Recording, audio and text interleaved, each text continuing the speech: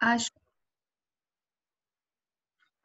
Okay, great, thank you. Um, I encourage all of you to have your videos on, uh, but please remember that it's being recorded, so if you're not comfortable with that, not to keep it off. And quick housekeeping announcements. Um, the questions that we'll be asking in this session are based on the questions that we've received before the session. But in case you have any questions that you'd like to ask, I would encourage you to be putting those in chat. And then if we have some time at the end, or if we think that a question we're asking is related to um, a question that you share on chat, we would also love to take those questions live. So I would really encourage um, you to just be active in the chat as well. We will be monitoring that. Great. So um, I think let's begin. I will start by introducing Madhulika, who is our moderator, and then she'll introduce Professor Dupas and then take the session forward. So Madhulika is an economist uh, whose research interests uh, lie around gender, health, and education. She is a PhD candidate at uh, in economics at the department at Georgetown University and a research fellow at ECOS. Her current work involves overseeing research activities on a portfolio of gender and financial inclusion projects. And prior to her PhD, she worked at with the Social Observatory, an interdisciplinary team of researchers at the World Bank Development Research Group, and provided technical assistance for livelihood projects in India. Welcome, Madhulika, and over to you. Thanks a lot, Prerna. And firstly, I'd like to congratulate you and your colleagues for putting this session together. We're really looking forward to hearing Dr. Dupas talk about her experience. Um, we're really, really pleased to have Dr. Dupas with us to share with her, uh, share with us her journey as an economist. Uh, Dr. Dupas is a professor of economics at Stanford University and a senior fellow at the Stanford Institute of Institute for Economic Policy and Research. She is the director of Stanford King Center on uh, Global Development. Her work focuses on challenges faced by the poor households in developing country, and her diverse body of work spans themes like health, education, gender, financial inclusion, governance. And for me personally, your 2011 paper, uh, the Kenya paper on uh, giving information to adolescents about HIV risk was like one of those papers that was an aha moment that it makes so much sense. So we're really looking forward to this conversation. And I will kick off the conversation with the most cliched question that you probably get in these uh, uh, in these interactions, which is that could you tell us a little bit about your journey as an economist? Like, how did you, when did you decide to be an economist? What was the journey like? And more specifically, the journey to be a development economist?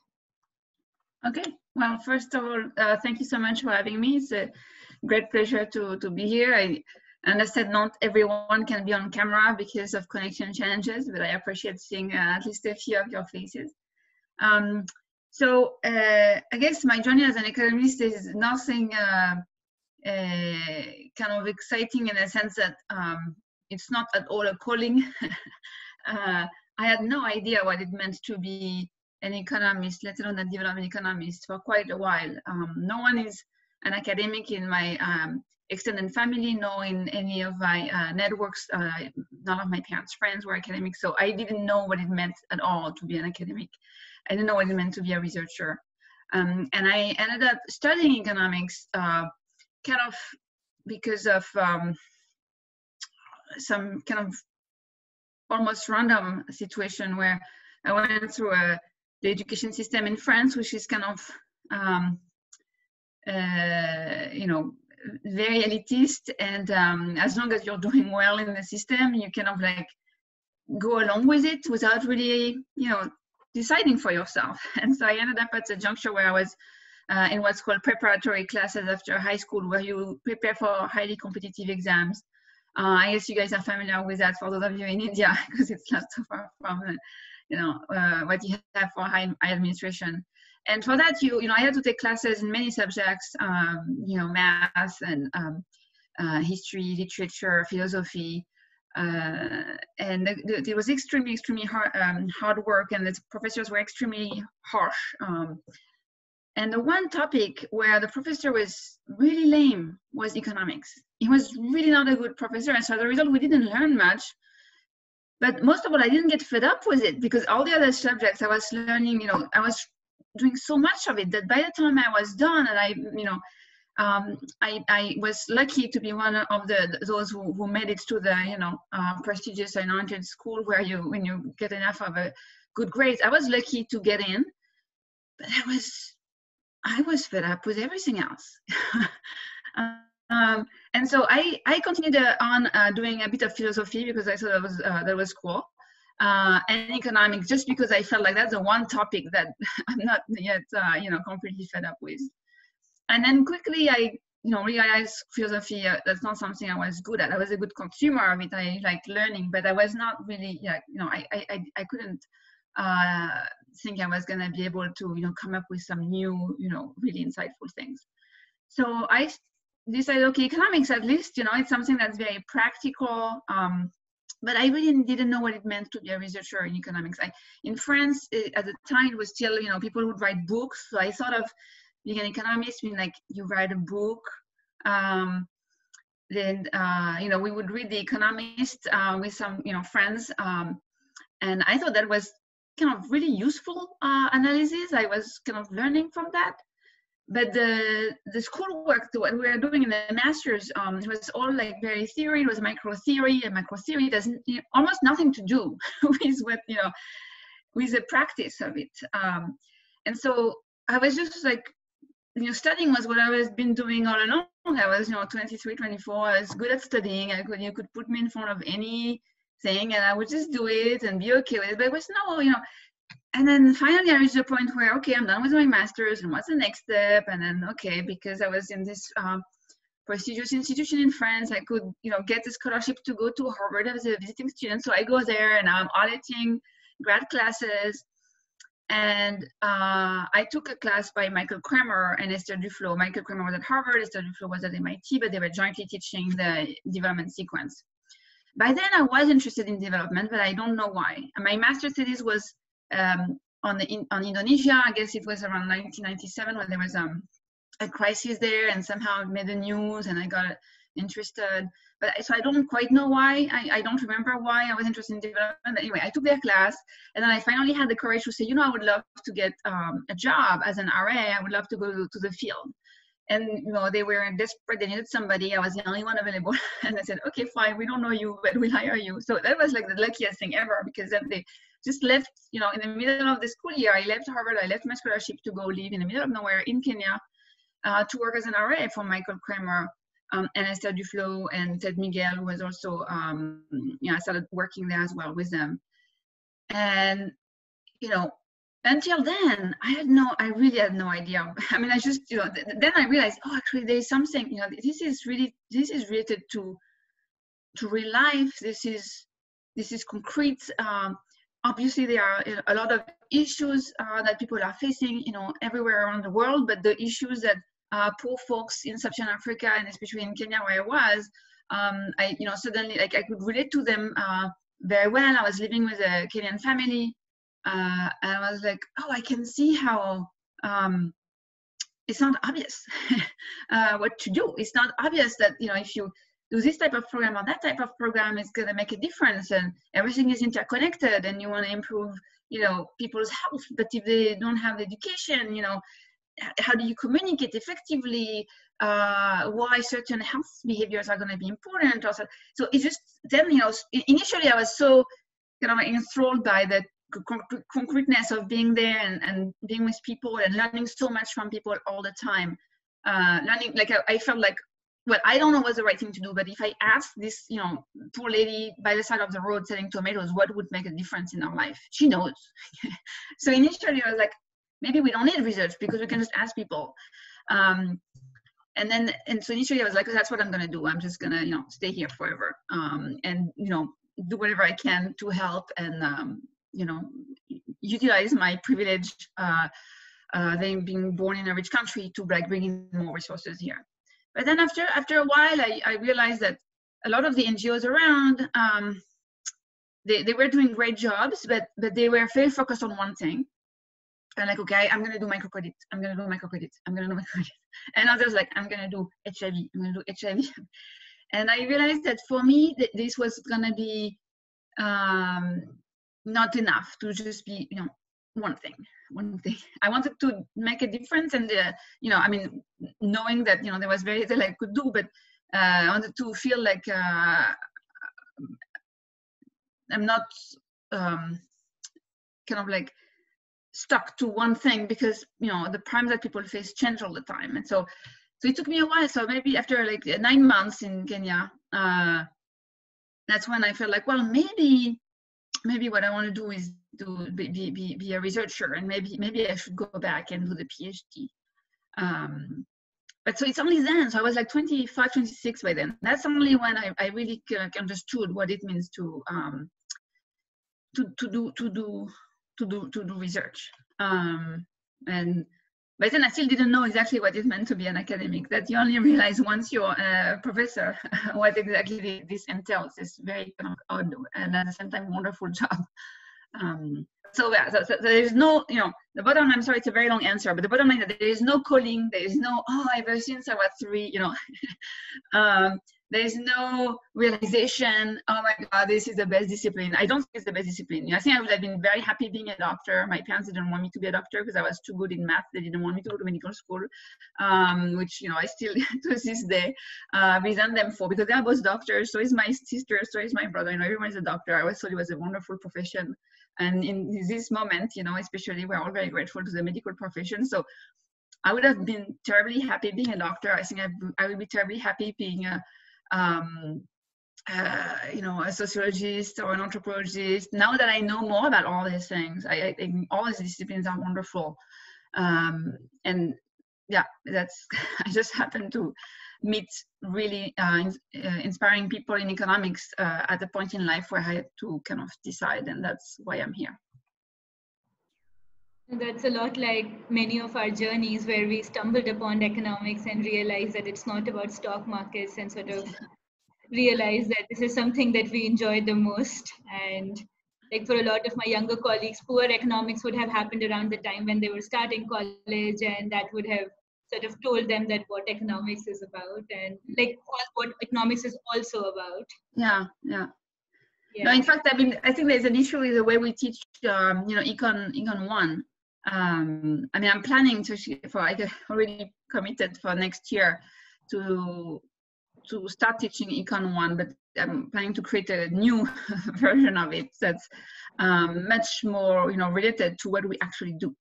so, yeah, um, so yeah. if you have any suggestions or ideas, you know, please email me and send me because I want it to be like really, you know, um, kind of introducing the discipline as you know as you know all of us on this call uh, know it and uh, and love it uh, which has nothing to do with with people's uh, uh, opinion. I mean you all know when you get into a taxi uh, taxi in new york and you say you're an economist they want you to you know help you help them think about you know stuff that you're like well no the i don't know anything about the stock market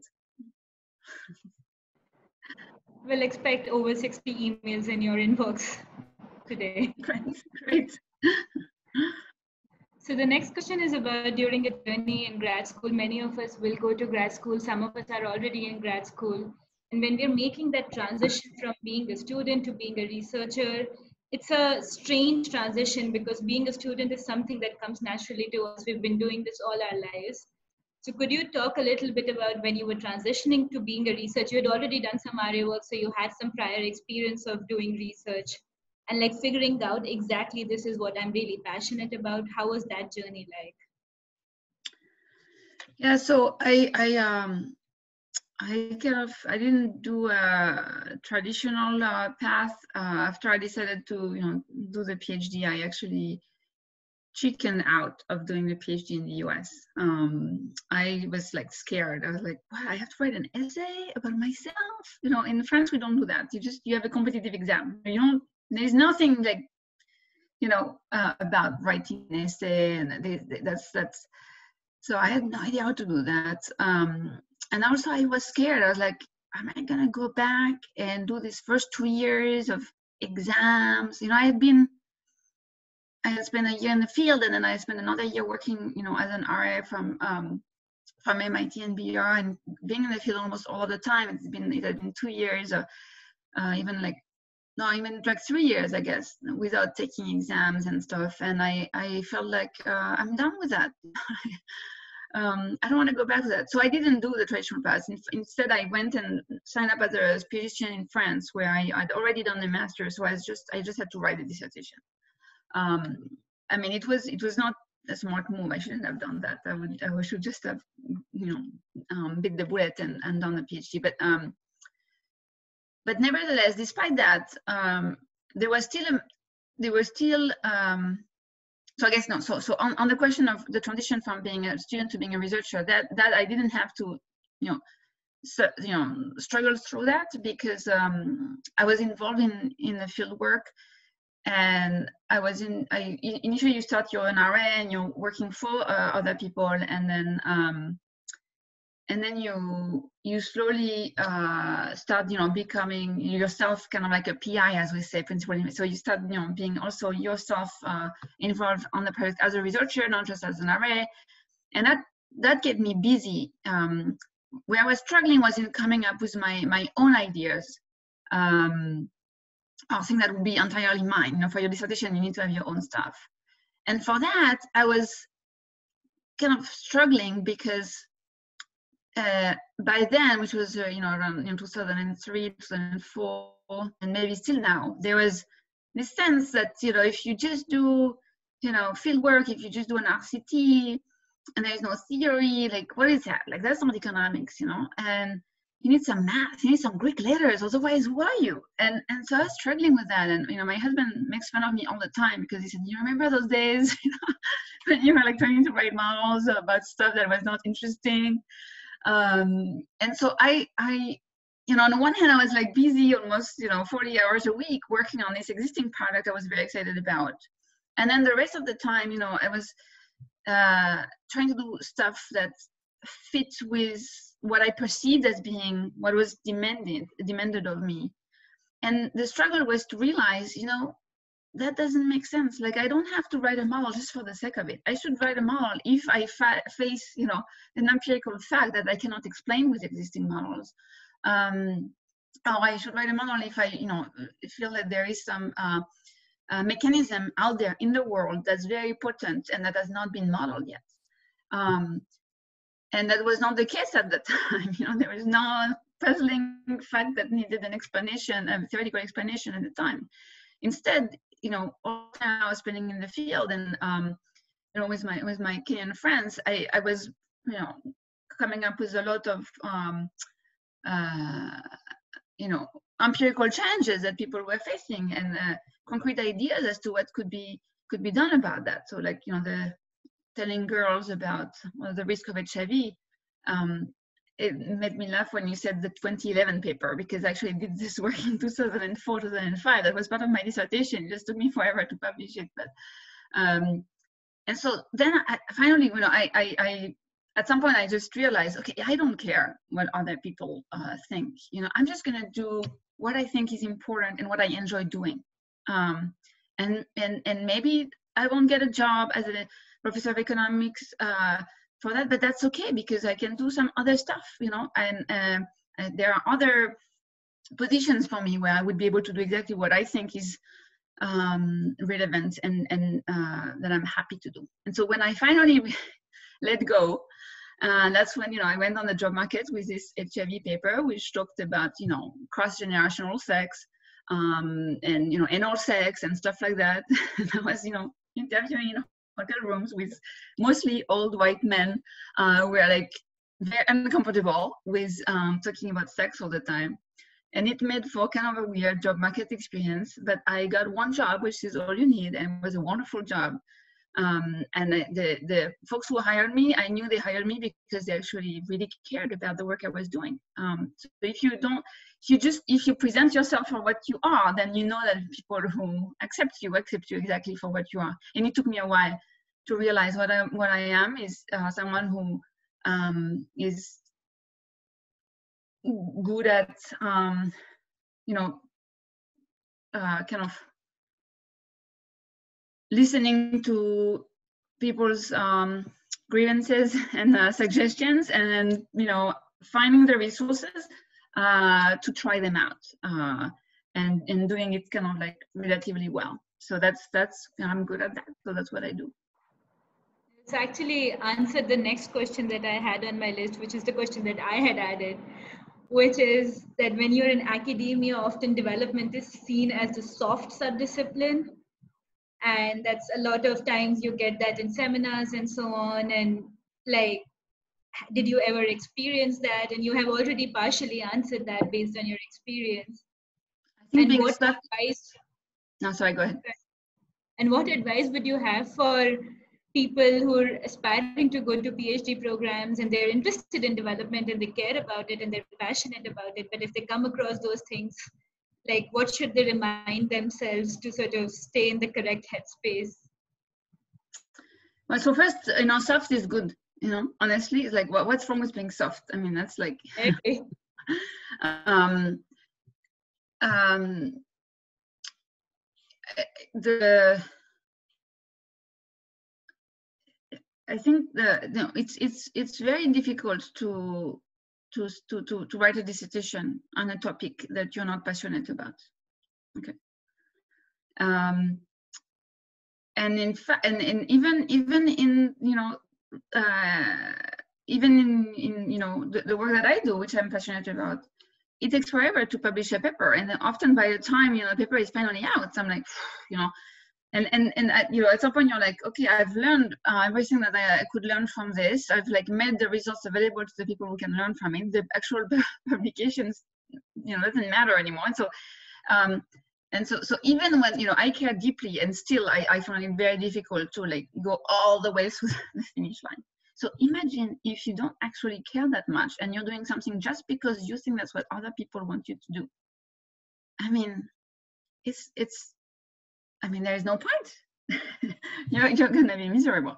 So it's important, you know, to remember that. Like, do something that you want to do. Like every day when you sit in front of your computer or your, you know, you pick up the phone to be on a call or you know, you design a survey. Like, are you happy doing that? Is that do you do you love it? If you love it, you don't care what other people think or are gonna say. Um, and uh, the fact that you know not everyone not every single economist uh, is gonna value what you do um you know that's that's life. You know if, if you were a, pro, a project designer if you were if you're a fashion designer you design some like dress not everybody's gonna like your dress. It's fine you know you don't, you don't need everybody to to to, to buy it. Um i think it's just there's heterogeneity in preferences in taste and that's okay. Like uh the the the obviously you know the there's been a, recognition over time as to the importance of the type of work that development economists do. And you know the nobel prize last year was um, amazing in the sense that not only it recognized something that many economists still feel like you know is is is, is uh, too um, cheesy for economists it actually recognized it super early. I mean, that's, you know, I knew that the, these guys were going to get the Nobel Prize. Um, there was no doubt about that. What made me extremely happy that they got it early. They got it, you know, they, they, they, you know, they didn't have to be, you know, 85 uh, year, year old to, to, to get it. They got it right away. And why? Because that's, you know, that's, you know, an amazing shift in the, in the discipline and, uh, and and they're gonna you know obviously as we we all know them they're gonna use this platform amazingly well. Um, so i think the the in some sense the the, the fight has been won uh, and there are still some people who don't um, value it but uh, the sense that this is something that matters for for the world is is um is clear, I think. So just reminding yourself of why are you doing this for? Are you doing are you doing this because you want to are that you want to shine? Are you doing this because uh, you you want to kind of make a small difference um, uh, at a minimum, and maybe a big difference if you're lucky? And then I think it's it's it's easier to just ignore. Uh, I know you mentioned the Nobel Prize. For a lot of us, it was a big moment that a female economist got as the youngest recipient. It was a big moment of validation for a lot of us. So Yeah. you mentioned that like papers, uh, projects take a lot of time in the field. They take a lot of time to get published. So given that a typical project's life, life cycle lasts for about three to four years, how do you think an economist can influence policy on a more real-time basis? Um, well, I, so there are, I guess there are, I mean, policies, you know, there's tons of policies, okay? So there are policies today that are in place, that have been in place for years, that are not based on any evidence, okay? Um, and so those policies are still going to be in place in five years, in 10 years. And so if you start a product now that's going to lead to insights in five years that, you know, uh, inform these policies, then, you know, at that time they can be changed. And so it's important to keep a long view to say, you know, if we don't get started now, uh, then we will never know. Whereas, you know, if, you, if we, if, you know, if we say, well, two years, five years is too long of a time frame, then, you know, um, so for example, in 2008 with um, Esther Duflo and Michael Kremer, we started a project in Ghana trying to understand um, whether moving to free senior high school, free secondary education would be a good idea for the country. There was a lot of political debates about that. It was we started in 2008 a study that was meant to, you know, we gave scholarships to people to go to secondary school for four years, and then we're going to follow them up, you know, for however long we can. Now it's been, you know, in 2020. It's been 12 years. Well, you know, the the in 2017 is when the Ghanaian government um, adopted free senior high school. So by then, you know, it's been, you know, nine years of, of debates. Um, and by then we had uh, a lot of information that was extremely useful. Um, and now they are still debating whether to keep it or not. Each, each election cycle, there is more debates, and each time we can bring more evidence to the table. So you know, when I wrote the first grant proposal for this, we initially got funded by you know the NIH. It was back in 2005. You know, I was still a PhD student. Okay, now 2020, I'm a full professor. We've never published anything. We have one working paper that you know we are still working on. Uh, like obviously this is stuff that you know has absolutely no, no return in terms of like academic uh, career prestige, but we are all you know so happy um, to have been doing this study. I mean, it's like it's we are like a, a you know in a kind of like an interlocutor for the for the for the Ghanaian Education Service, and uh, it's it's it's you know really helpful. We know it's very helpful. Um, you know what what we've done, and we keep doing it. Um, so if you tell yourself, well, it's going to take too long, I'm not going to do it, then you know 20 years from now, you still won't have the evidence. So these are for questions that are like you know policies that are deep, long uh, thing that change slowly like education policy and stuff like that. Now, obviously, there are cases where you know the policy response needs to be super timely, and obviously, the COVID-19 crisis is one. Like right now, if you want to help inform governments as what to do and how to deal with the COVID-19 crisis, if you want to, you know, if you're going to start something now and it's going to take five years, that's not going to you know help necessarily. So. Um, it's it's you know then you need to kind of think of what, what can you learn uh, really quickly. Um, and I think development economists have done quite a good job at, at um, pivoting towards doing stuff that can be quite useful quite rapidly. So because many of us um, I've been doing you know studies for a while and we have uh, samples. feel bad calling people samples, but this is like the technical term. We have you know huge samples of people around the world where we have their contact information, often their phone number, and so a lot of studies pivoted towards phone surveys, um, either to get information about how you know people are uh, faring with um, the situation, and in particular in, in you know as, as you know uh, in India, but also in other contexts the biggest hit actually came from the, the lockdown, the restriction. Um, that just like was a massive shock to people more than the actual uh, you know health uh. And so just like being able to document the extent to which these restrictions are affecting people, who is most affected. If a government has a safety net program and cash transfers program, who actually gets it, who doesn't get it, who's left out, and that information can quickly be reutilized by, by government. Um, I've done some work with Radhika Jain, a postdoc here at Stanford, understanding the impact on non-COVID uh, healthcare uh, services. And here also we are in discussion with the, you know, we are sharing our results with the uh, Department of Health of the government of Rajasthan in, in real time. So um, some of this stuff is not, you know, is not randomized. It's like purely descriptive.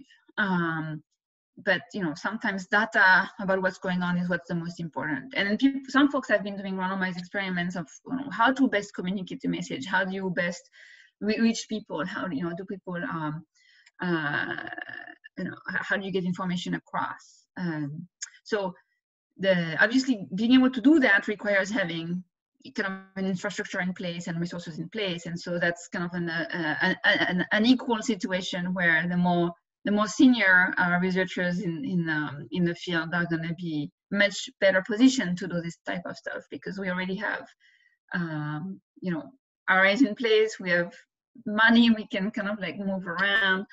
Um, or if we don't we can apply for grants and we're more likely to get them because there's name recognition. So this is uh, you know not everybody can you know as easily contribute. And as as young young scholars what's important to um, really think about is that you know what if you want if you want to be able to to participate in this and you know um, being part of a of a of a broader family, if I may say, um, is one way to go. So be like, okay, it's fine. You know, I can I can start. Uh, you know, I can work as an RA. I can um, I can try to join a, you know, a team um, to you know do stuff before you can you know on your own uh, have access to the to to to, to the resources. Um, so. Yeah. So taking off from your response like COVID-19 marked a big shift for a lot of us economists, like for our fraternity, because we were forced to think more quickly. We were used to like take a question and mull over it for many months, if not years, and spend a lot of time thinking about it carefully. And now we were trying to sort of respond to the situation. And I do think that our fraternity did a very good job of responding to it in the most credible way possible. But do you think this marks a permanent pivot towards producing more rapid research, quick turnaround research, or uh, I mean, it's not to say that the traditional way of doing research, where we think about things for a long time, will not be there, but a lot more of research would now look like uh, the sort of research we produced during the COVID time, uh, even after the crisis is hopefully over.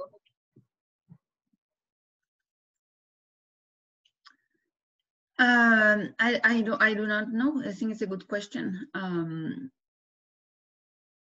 uh,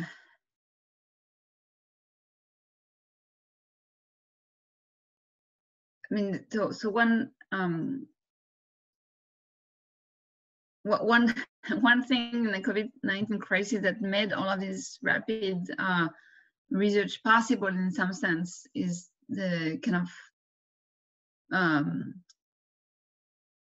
extremity, uh, extremeness, I don't know what the word or the, you know, you know, massiveness of it because, you know, you all know um, what an identification strategy is and the shock of COVID being, you know, so big and the the sharp discontinuities, if I may say, like, oh, you introduce a lockdown, you know, that's like, you know, you can plot the event study graph, right? So I think it's, it's it's maybe an exceptional in that sense. Like it was the type of shock that's you know the magnitude is huge. It leads to these extreme extreme you know policy responses that you know by their ex extremeness are then kind of like relatively easy um, to evaluate in some sense, or at least um, so.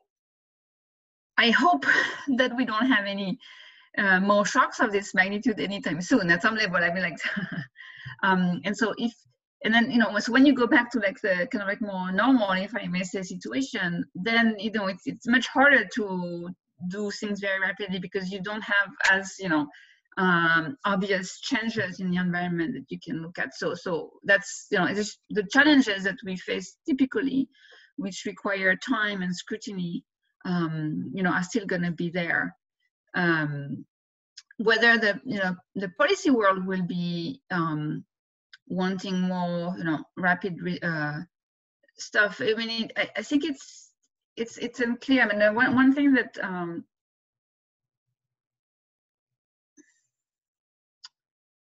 and one thing that I would hope happens is that um, the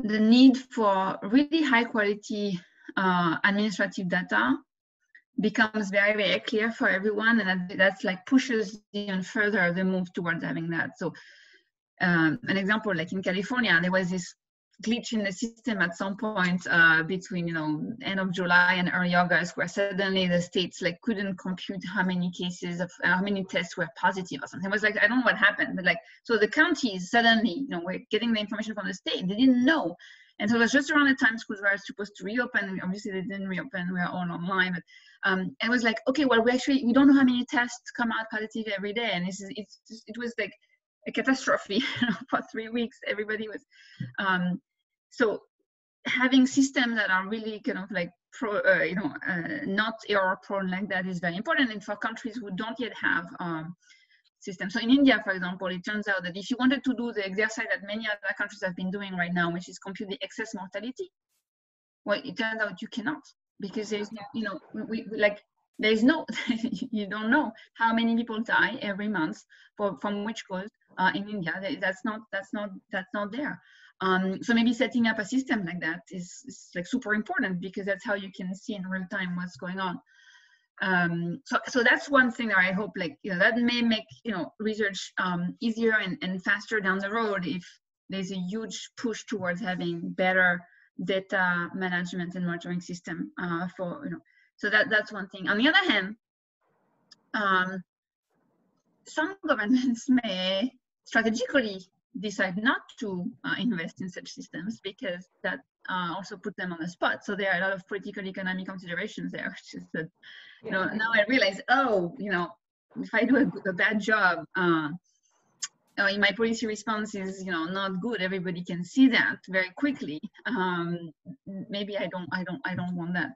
So there are already some, uh, and as you look at, I've been trying to look at that uh, with the student. If you there's this um, very nice data that Google has been putting online, the Google mobility data, where you can download um, a CSV file where they put for every single day since, uh, you know, I think mid, uh, mid February or something for every country um, in, in the world and disaggregated by, you know, region, some index of how much people, uh, how much people have been moving. Um, and so you can very easily see the, the lockdowns and the restrictions, but you know, it's, it's all relative to the base of January, but you see the big drops in movements. And it turns out that some countries that are not in there, uh, one country in particular that I've been working on um, for some other stuff is Ethiopia, and it's not in the database, and it's not a coincidence.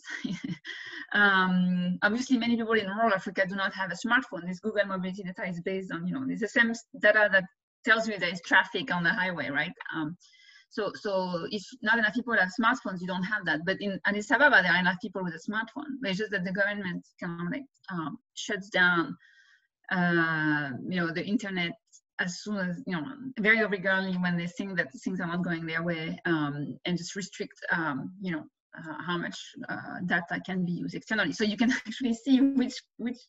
I'm trying to see if you can see how autocratic a country is from how good that data that data is. So you know the the yeah, all this to say it's it's it's possible that more will be able to be done, but not every country will be happy with that. And so we also have to make sure that we keep doing um, the other stuff in the in the areas where it's still gonna be you know much more challenging to to to do work uh, given the lack of transparency in the data. We, we still need to do the long um, the long term stuff. No, and in India, we're still like thinking about how to even think about mortality related to COVID. We don't have national registration of deaths and so on. So those are real concerns. And it's all of our dreams to have good functioning MIS data systems, but yes, that's a long shot. Um, so related to data, during COVID, a lot of us pivoted to collecting data over phone and so on. And we realized like a lot of us were very reluctant initially and we thought that we can never administer these surveys over phone and now we're doing it regularly on a daily basis managing those surveys. Do you think in the future we would have a different um, norm of data collection where we might have a lean baseline but many rounds of phone based follow-ups and so on? Or that could be one of the pivots that would uh, probably help us do research at a lower cost but more effectively in the future Yeah, um, I think that it's, it's possible. I mean, the, in my own research in the in the Ghana work I mentioned before with uh, you know Senior High School, we actually started implementing phone surveys um, back in 2015 um, because we needed to like check on our folks, you know, regularly, but they were all over the country, and it was very expensive each time to go find them in person. And uh, in 2015, I was like, okay, let's try, and we we're so uh, unsure it was going to be a good idea. We are like, okay, and then then we did it, and it worked well.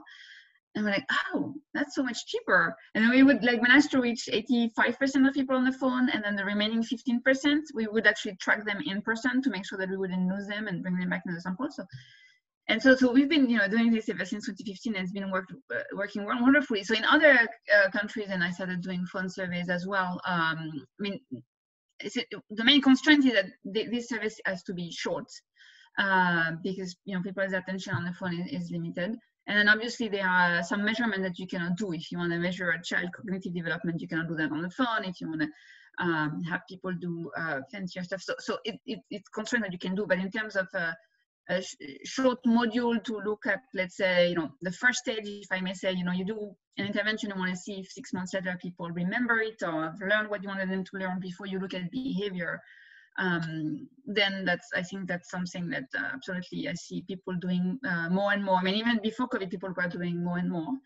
Um, and, and now uh, I think the, the, everybody will have realized that this is, um, this is a, a, good way to go. The, the one the, the one uh, question is whether um, attrition uh, after a while becomes high because obviously um, you know the like the it, it's harder to say no in person to somebody than uh, than on the phone right like hanging up on somebody uh, is remarkably easy but if somebody has come all way to your house and asked you very nicely to participate in a survey, it's, it's much harder to say no. I mean, obviously you should say no if you don't want your information to be known, but if it's just like it's a little bit of an inconvenience and you're a bit, you know, saying no is, is, is hard in person, but easier on the phone. And so phone surveys in the US, for example, for polls or things like that, they have very low response rates. Um, I think we've been lucky in um, with uh, in, in, in, poor environments that people are so amazingly nice. Yeah, you know, people are not rude. You know, people are rude. People are not rude, and so it's amazing that you know you call people and they actually answer, and the refusal rates are very low, um, which is like remarkable. Um, and, and, and um, you know extremely grateful to you know everybody who answers ever a survey that we ask them which is why i feel compelled to answer every single survey i receive by email or by phone um and you know a lot. But so so that's the, that's the question like will will there at some point be some um you know if everybody does that all the time and if you know as you said people start saying oh well instead of doing you know one midline i'm going to do like seven rounds of phones well you know the the if everybody does that um, then it's going to be maybe a lot of, of on calls for uh, for respondents, right? Um, and obviously, the researchers are not the only ones who want to do this. Uh, obviously, there's all the marketers. Um, so they, I suspect there will be some um, you know, regulation uh, that's going to become increasingly important uh, around these issues. Um, and and then obviously there's also and at some point, hopefully, the IRBs will also kind of pay attention to what it means to give consent on the phone. Um, you know, what like how can we be sure that the person has actually understood? Um, when you do face to face, you see the person is look, you know looking at you, paying attention. But on the phone, what if they're actually like dealing with a toddler having a tantrum? You know, and they put themselves on mute, so you don't know uh, but they didn't pay any attention to saying and then they come back and say so is it okay? And i say yeah yeah yeah yeah. Not knowing what if just quietest do so uh, you know it, it, we have to be kind of ourselves kind of uh, very uh, you know mindful of um, how we're using this tool in a way that's respectful um, of people's you know uh, rights and uh, time. Yeah It's great that you touched upon it because almost on a daily basis, a lot of us who are doing phone surveys are grappling with the ethics of collecting information telephonically. What does con- consent mean by taking consent on phone? Are we sure it's that woman who's giving the consent who's responding? So it's something we all try to think about every day. So it's really great that you touched upon it. So I have a question from Vishakha here in the chat box. Vishakha is saying, hello, Dr. Dupas. Do you think it's possible to have a fulfilling career in research, especially in development economics in isolation of academia, without possibly doing a doctoral program? Uh, uh, so yes, I, I see so. Um, and because the the the you know the the the model for how people do research has really changed in the sense that uh, you know if you're a researcher and you're not you know it's not like you you're just uh, you know in, in your office with a library card and a computer. That's not that's not how we do research anymore. It's really much more of a lab model. You know if you if you're a biologist you have a lab you have you know a huge you know space and like uh, tons of uh, students and predocs and postdocs and uh, collaborators working with you. Um, well, in the social sciences now, um, it's it's become like that, and in development economics, maybe you know earlier than even in other uh, you know social sciences, where um, as I said, you know, I started, I, I, got into this by working as an RA in the field um, for for for Michael Kremer and Esther Duflo, uh, and and at the time the model was kind of you do the RA stuff for a year or two and then you go to grad school and then you become uh, somebody who you know herself hires RAs and then so there's like countless generations. So like it's almost like Michael Kremer has like grand grand grand kids from that scheme. The RAs of my this, the RAs of the students of my students of you know this like so but but more and more, actually, more so more and more, some of the um, RAs that um, we had um, didn't go to academia and went on to a flourishing lives of their own. Um, in, in, in, in making very uh, you know important um, uh, I mean, doing research in a, in a, in a way that's very impactful, but not through the academic uh, system. And so one example is, for example, um, ID Insight, which was created by, uh, you know, among others, co-founded by, by Paul Wang, who worked with us in Kenya uh, for a while back in, I think it was 2004, that it was uh, 2005. Um, and then he did, he did, he did um, the MPID at the Kennedy School and, and, an MBA, so he didn't do a doctoral degree.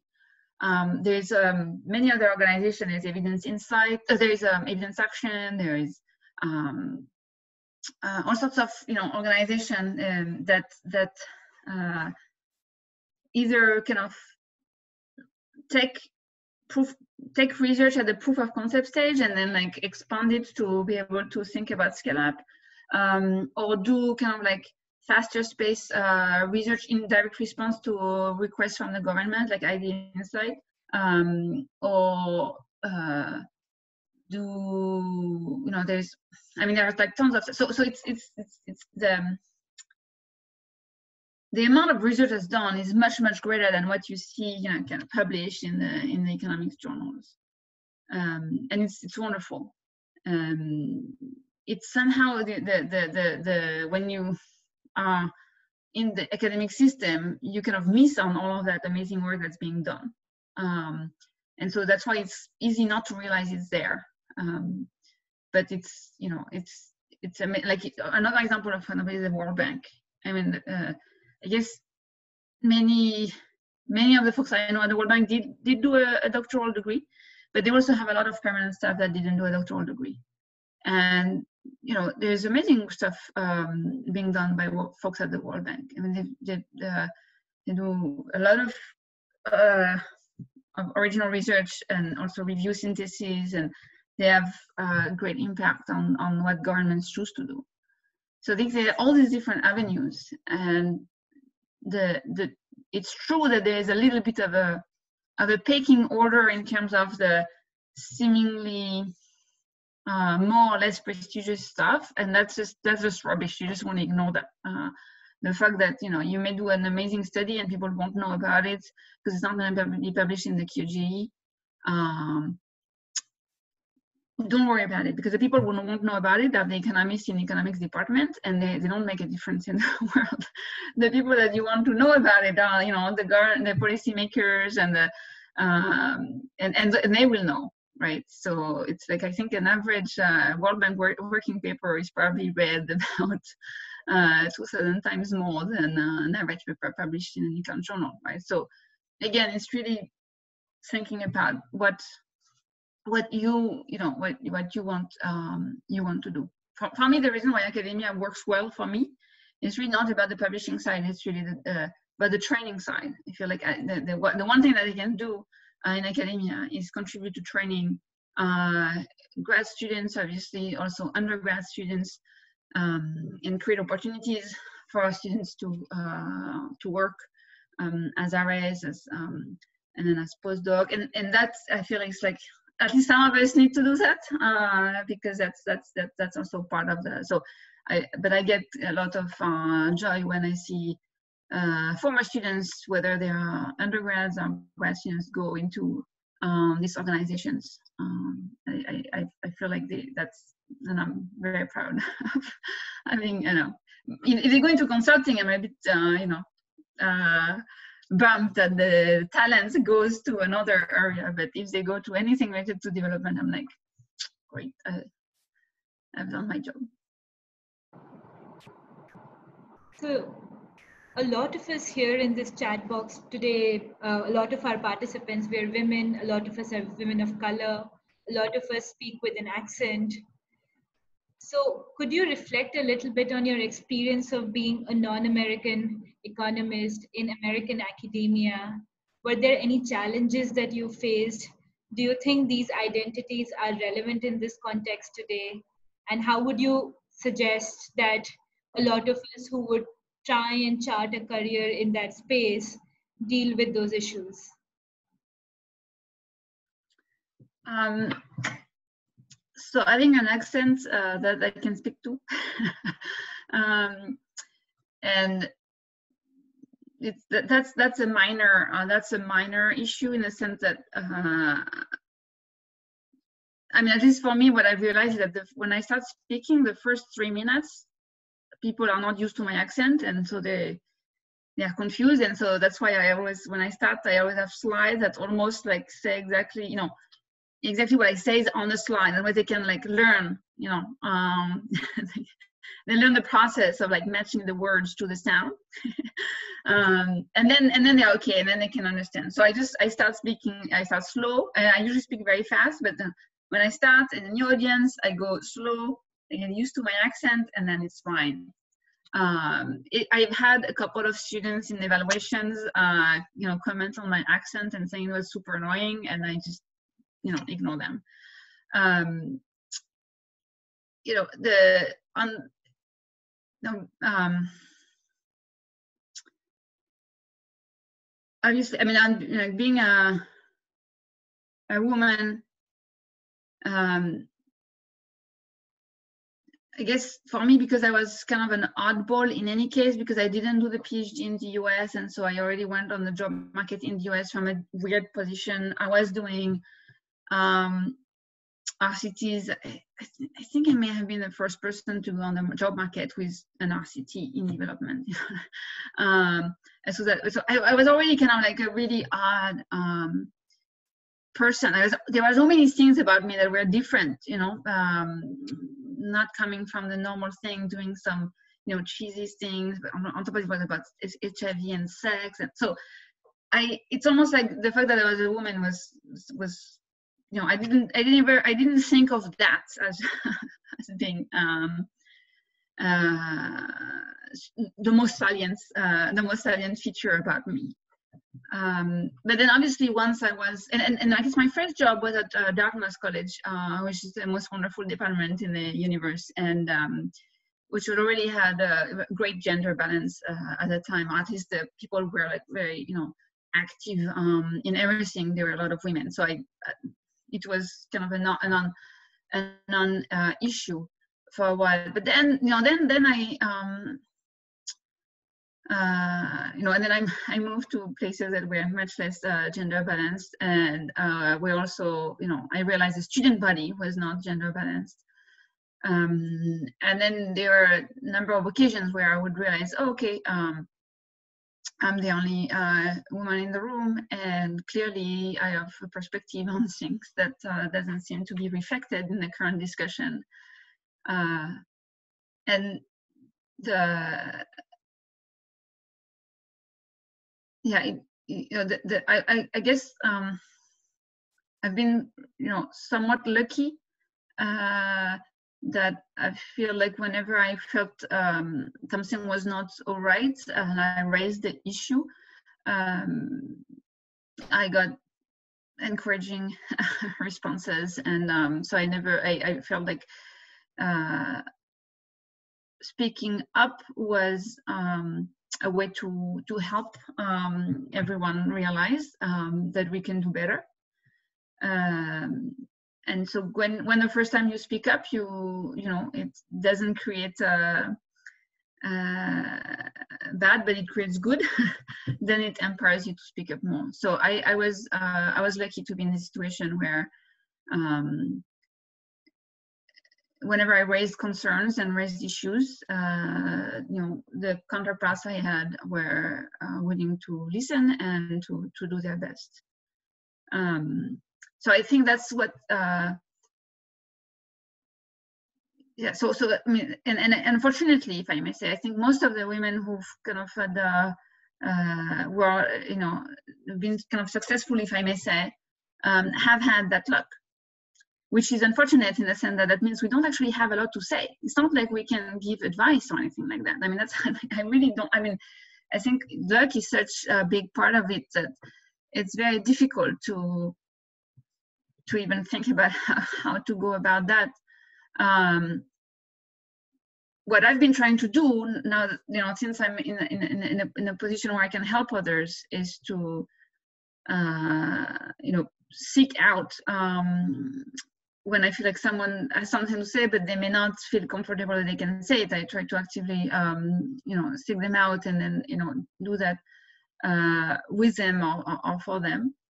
Uh, and so I, the one maybe if I can say I don't think it's a piece of advice, but the one thing I would say is that trying to find allies um, so that you know when when so, so that you feel safe um, you know speaking up is very important. Because if if, if you if you you know if you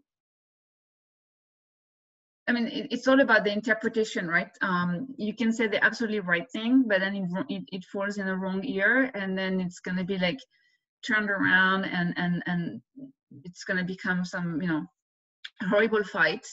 Uh, and then it's it's it's very difficult for everyone, and especially for for you, and and um, and it doesn't get anywhere. Whereas if you know you kind of find the right set of ears to start, it's almost like you you know the um,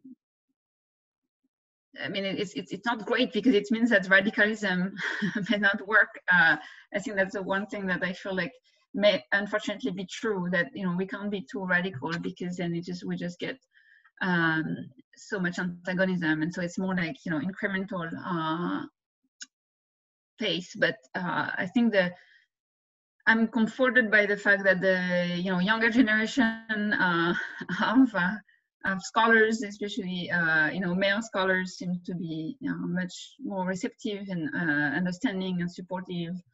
Um, so yeah, I, am hoping that uh, things will get uh, easier. But um, yeah, I'm I'm I'm afraid I'm not I'm not very. We're very grateful to senior economists like you and many others who have raised their voices when they felt uncomfortable and have sort of paved the way for us when we like move ahead in the discipline. And like and i know when i say this for myself i'm saying this for everyone in the audience. We're also all very grateful for our wonderful female mentors who sort of gave us that space and were our allies when we faced issues. And like yeah. So that sisterhood is great. Um so a lot has changed in economics in the discipline. You mentioned that we have a lot of younger, a lot of uh, like male colleagues who are more supportive, more receptive. uh, more sensitive and a lot is changing we're having discussions around gender the fact that we could have this conversation is something that we couldn't have done 10 years ago we're having discussions around race we're having all these important discussions and looking inside and thinking about our discipline and also about how we interact with the policy world so what are some of those things that you're hopeful about and what are some of those things that you think are still important challenges that we need to keep in mind and be cognizant of when we interact with our peers, when we do any work in the discipline, when we go out in the policy space? Um, so the, the one thing that I'm a little bit worried about is that the the system to to to get into you know this um, business, if I may say that that uh, that we're in, is still very codified in some sense, and so feel like to really uh, diversify, um, you know, the pipeline, as people say. Uh, let me just close the blinds because the light is.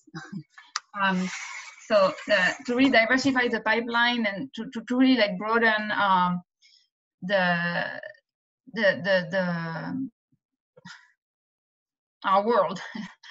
um, we need to really change how we we recruit. Uh, right now, it's like you know the, the new thing is having pre-docs you know at universities but like who gets the pre-doc you know obviously it's not, the and then the pre-docs want to you know take graduate classes and you know may, some of you may be pre-docs and you may really want to take graduate classes. I, I i don't think it makes sense. I don't let pre-docs take my graduate class. I'm like you do the graduate class when in grad school. If every pre-doc do, does graduate work before they do the graduate work then what do they do in graduate? No it's like it's like an, an unraveling of things. Like, why not do the PhD class when you're in high school? When you're on, it's just like it's like we just need. to. I feel like it's everybody. And then the freelance like, no, but if I don't take the class, I won't get into the program. And I'm like, no, but then like how like that's that doesn't you know. So it's like this rat race. Um, it's I feel like each time we find a new way to kind of like uh, expand the reach, then there's some like new, you know, way that um, mm-hmm. people who are better connected uh, manage to, to, to, to get in first place. And so I think we need to completely revamp how we do, you know, admissions at all levels, you know. Um, and for once, I think uh, if, you know, a program is oversubscribed, you know, having a randomized assignment would be a great way. I mean, it's like, it's why not have a lottery? You know, like you know, there's tons of people who will be extremely talented, and uh, we should just you know, uh, and and that's also a way we actually we would actually be able to learn. You know, because right now we have very we have almost no way of learning. We have this, and I've never been on the admissions committee at Stanford, so I it, it just uh, you know because I think it would drive me crazy. So, um, because I would be bound by all these rules and um, but I think that there's no way to learn because it's not like uh, they keep track of you know people who are admitted, people who are not admitted, and then see over time you know what characteristics seem to predict. I think if we try to run a regression on success uh, in terms of, I mean, we will also have to argue about how we define success, right? But uh, uh, obviously, when it's success on the first year, you know, exams, but you know, who cares about that? It doesn't predict how you know much you're going to change the world. But imagine you had a measure of success in grad school, and, and we should try to re regress that on stuff in the application, right? But no one is ever doing that, and most likely nothing would come out anyway.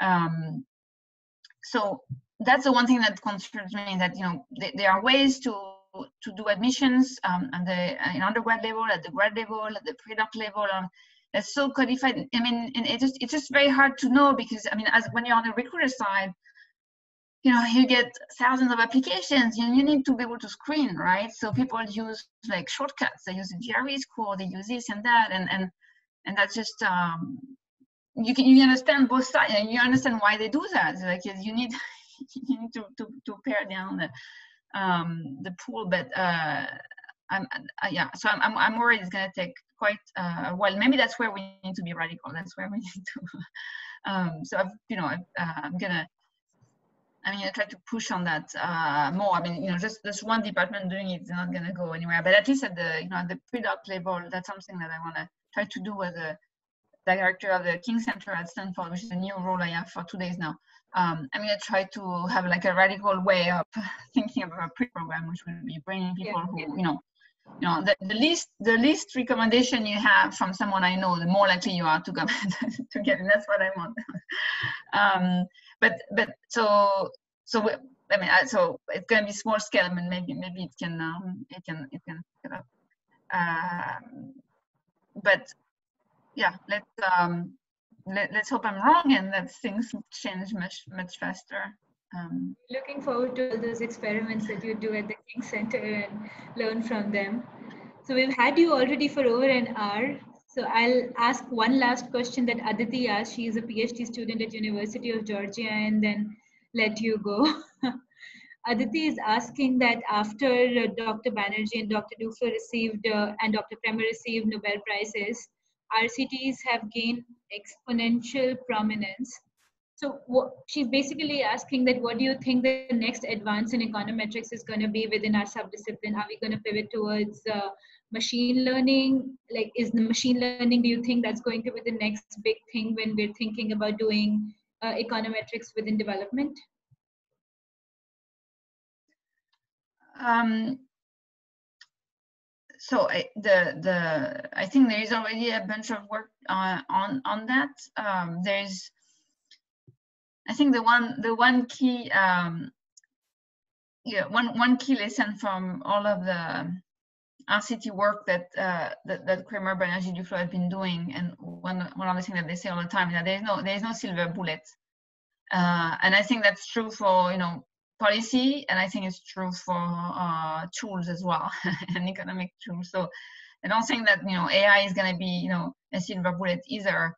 Um, I do think that uh, having much better administrative data is going to allow for faster uh, research uh, at scale and where where, where I see that I, I where I hope um, that the you know the the, the Nobel Prize um, uh, kind of you know, aura is going to help make headways is in convincing more governments that it makes sense um, to to to learn from what they do much more, and then they can do that relatively cheaply if they are you know smart about using their own data uh, and that they can also experiment, if I may say, um, in a good sense of the term, uh, fairly easily at scale. Because you know, so your, your government, you want to start something new, you can do kind of like A/B testing relatively easily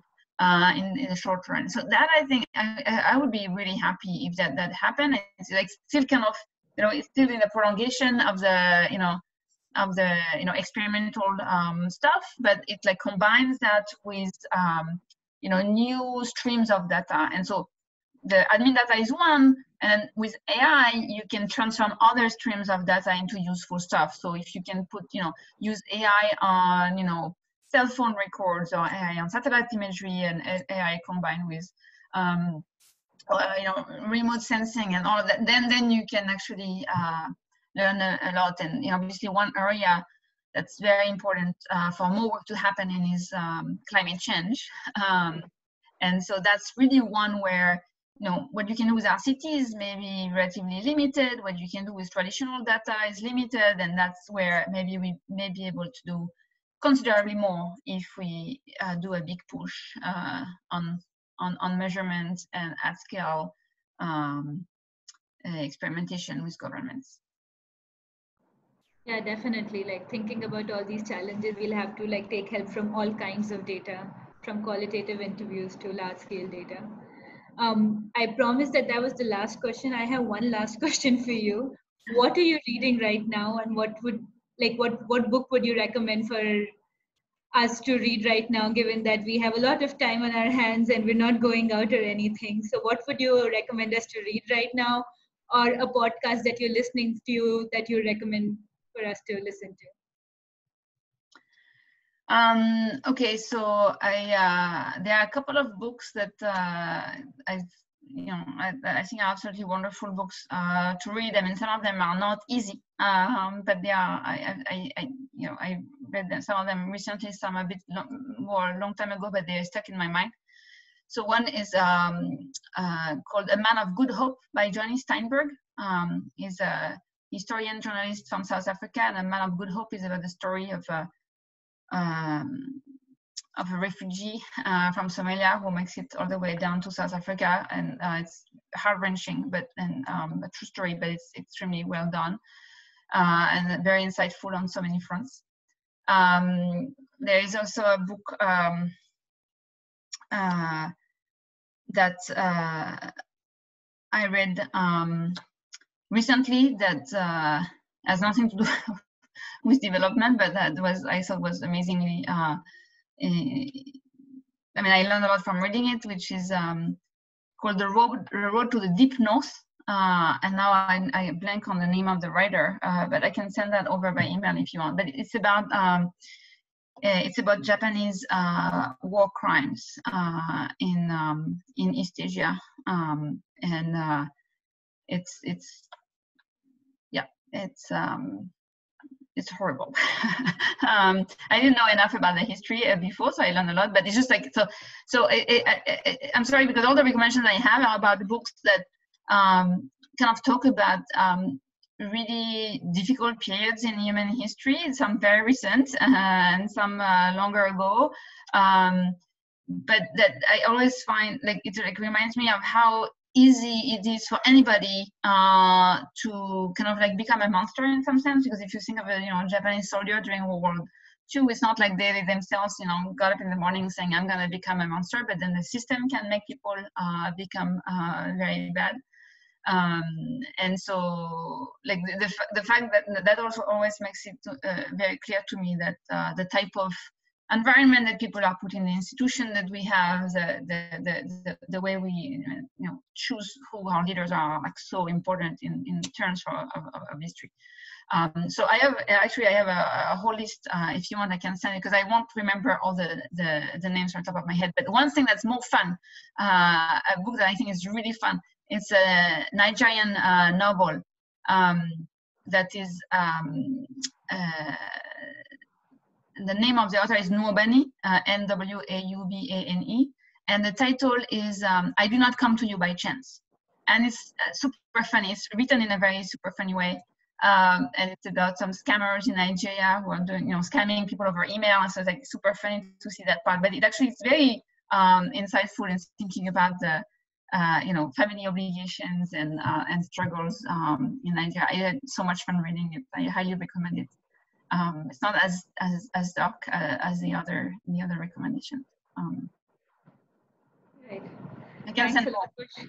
Yeah, if you have more, then yeah, please feel free to share them with Prerna or others. And yeah, we all are in a on a lookout for a good reading list nowadays. So okay. Um, um, Prerna, do you want to conclude? Sure. Uh, yeah, I mean, uh, thank you, Professor Dupas, for uh, sharing your thoughts with us and for that refreshingly honest and open conversation. And um, thank you, Madhulika, for guiding the conversation so well. We're very grateful that both of you could take out time for this. And thank you, everyone who dialed in and everyone who sent questions. Basically, I mean, thank you, everyone. And we're all very grateful as we grow as, as not exactly an organization, but as community, the type of support that we've been getting really reinforces why we set up this group in the first place. And we're so happy that we can have conversations like this and learn from each other. And um, I mean, follow us on Twitter if you want more updates on future sessions, newsletters, things like that. And yeah, thank you. If anyone has any parting words and is better at being emotional than me, then feel free to say anything. Thank you so much for having me. It's an honor. Thanks a lot, Prerna, for organizing this. And thanks a lot, Dr. Dupas, for taking out your time. We had a lot of fun. Okay, thank you. Bye, everyone. Have Bye. a good day slash good night. Good evening. Bye-bye.